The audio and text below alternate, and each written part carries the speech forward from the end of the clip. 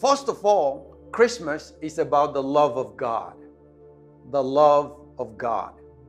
Now, in every spiritual tradition, in every wisdom tradition, people come to see God as love. He is the personification of love.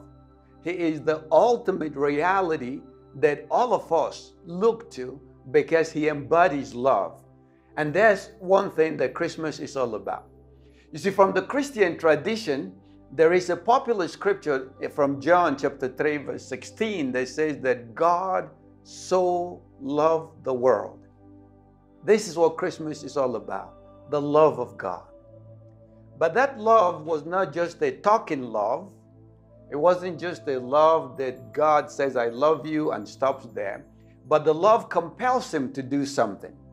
And so he gave his only begotten Son, as the Christians will see it.